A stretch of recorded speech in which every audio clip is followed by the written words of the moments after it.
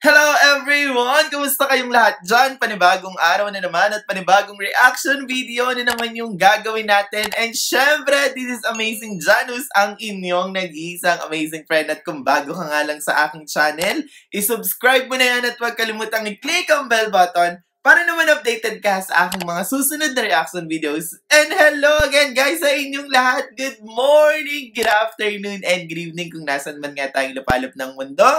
Thank you for watching and mag-ingat tayong lahat, okay? So, ayun na nga, panibagong video na naman for today and sobrang na-excite na naman tayo. And shout out lahat sa mga fans ng France 3 Team. Grabe, sobrang dami nyo and sobra akong na-overwhelm sa pag-comment nyo at sa panonood nyo ng videos ko. Maraming maraming salamat. So, for today, one of the requests yung gagawin natin for today, okay? So, kinover nila yung One of Us And this time, kasama na yung tatay niya ata at saka yung isa niya pang maliit na kapatid. Sobra akong na-excite kasi nga napakagaganda ng boss ng mga batang to and sobrang na-excite na akong gawin. So, panoorin na natin to and let's go! Ayun na. Siyempre guys, sobrang ano tayo, uh, familiar tayo sa kanta na to, diba? Uy, lakas maka-radio ah!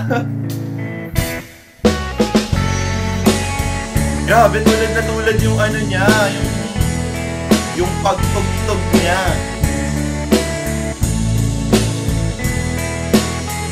Sobrang na-excite ako sa boses.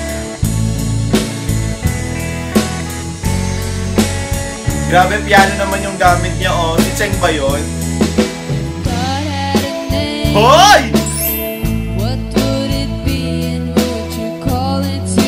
Grabe yun! If you were faced with him and all his glory, Oh my God!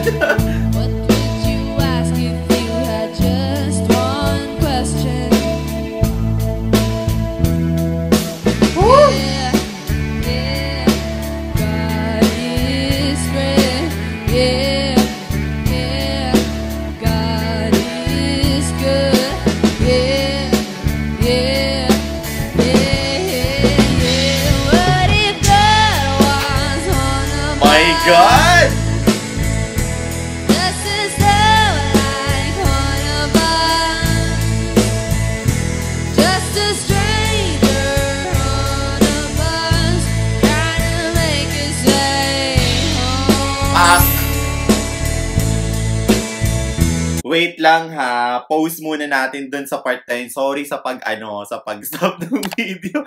grabe yun guys, sobrang grabe siya and sobra akong ano, uh, sobra akong na-amaze. Ayan.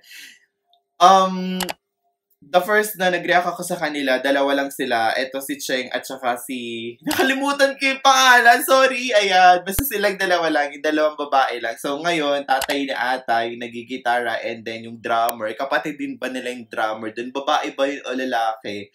Parang babae kasi siya eh, pero parang hindi ko alam, hindi ko masyadong maaninag. Ayan. Anyway, guys, grabe no buong family, napaka-talented nilang lahat. Sa totoo lang. And siguro sobrang dami nilang na-experience na, okay, based sa nakikita ko. And hindi biro rin siguro yung ano, ginugol nila dito at saka yung ginawa nilang time para mabuo tong banda na to. And grabe, sobrang deserve nila yung mga fans nila ngayon. Sobra as in, sobrang ganda ng boses niya, as in. And sabi ko nga, ba diba, kapag may gamit kang isang instrument habang kumakanta ka, sobrang medyo mahirap yon Pero parang okay lang, easy lang, relax lang sa kanya. ba diba? At sabi ko nga, yung tono ng boses, wala akong masabi. Kahit anong kantahin niya, sobra lakas baka ano, lakas baka good vibes, ang lakas ng ano, ng impact sa'yo kapag pinakinggan mo siya. Grabe. Tuloy natin, tuloy natin. If God had a face, Grabe. Grabe, halimaw yung boses.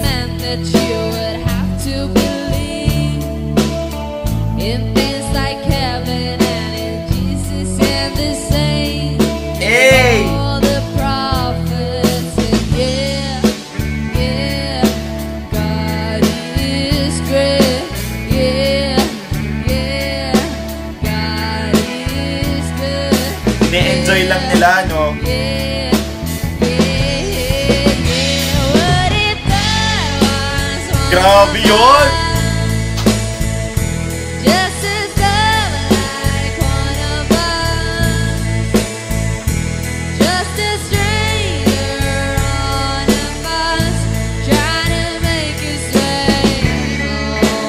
Grabe, ang chill lang nila, no?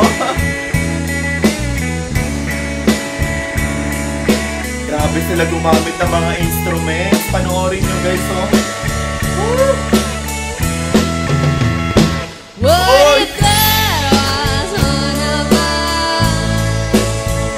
his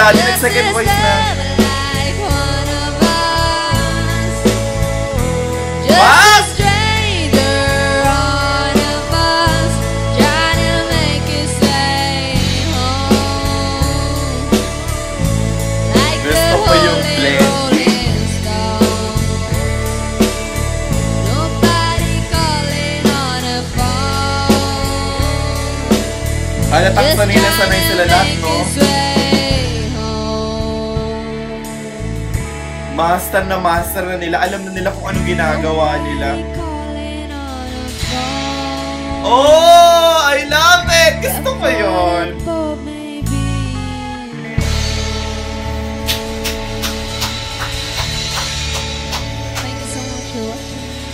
Grabe. Yes, subscribe salamat, sila. Grabe. Ayan. Oy, grabe yun na. Alam nyo, well-deserved na i-subscribe yung channel nila sa totoo lang. And well-deserved na mapanood sila ng buong mundo sa totoo lang. Ito yung ano eh, no, yung kinakanta nila. Meron ba silang mga original composition? Ayan, comment nyo nga rin kung meron. Tapos gawin natin ng reaction video. Kasi so far, napapanood ko pa lang din, ah, napapakinggan ko pa lang din, is nire-revive nila. Pero nabibigyan nila ng another twist which is okay yun. Kumbaga, nagiging original pa din siya. Kasi nga, sobrang hirap gumamit ng mga instruments na yun sa totoo lang. And, sobrang talented ng bata na to, sa totoo lang. Sumali na ba siya sa The Voice? Sana makasali siya, ano? Alam nyo, may pag-asa yan for sure. Yung mga ganyang boses, well deserve na makilala yan sa totoo lang. And yung daddy niya, grabe no, nung nung nag-second voice na, nung sumama na siya, iba din. Lakas impact. Gusto ko rin marinig yung boss ni Daddy. Comment niya rin yan. Grabe, sa totoo lang, sobra akong na-amaze sa kanila and sobra akong na-excite pang panoorin yung mga, yung mga videos pa nila. Kaya eto, gumawa ulit ako ng panibago. And talagang sabi ko nga, dedicated sila sa ginagawa nila as in. And I heard din, nagbasa-basa rin ako ng mga comments sa mga videos nila ano sila, talagang medyo malapit sila sa Diyos, sa totoo lang, nakikita ko, and yung mga tao ninyo yung mga binabless, and yun yung dapat na sinusuportahan sa totoo lang. So, ayun na nga, sana nag-enjoy kayo, and sana nagustuhan niyo yung reaction videos ko, and maraming maraming maraming salamat. And sa lahat ng mga bago dito na makakanood ulit, Please, ayan, sana mag-comment kayo. Please comment down below, i-like, and i-share nyo na rin yung video ko. And please don't forget to comment na mga gusto nyo pang ipareact in the future. Ayan. So, ayun na nga. Maraming, maraming, maraming salamat. And again, this is Amazing Janice, ang inyong amazing friend. Thank you for watching and have a nice day, everyone. Bye, guys!